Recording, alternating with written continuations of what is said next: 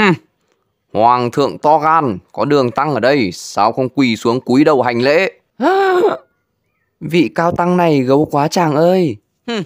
Đường tăng to gan, chấm là chân mệnh thiên tử tại sao có thể quỳ một tên đầu chọc như ngươi chứ? Ừ. Ngộ không bát giới im để cho bố mày nói chuyện. À im đi bắt giới ạ.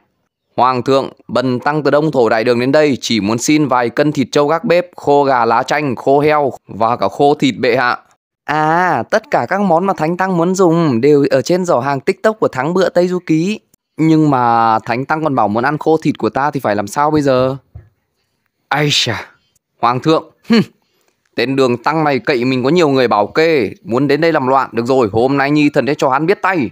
Nói vậy thì bần tăng lại phải đại khai sát giới rồi.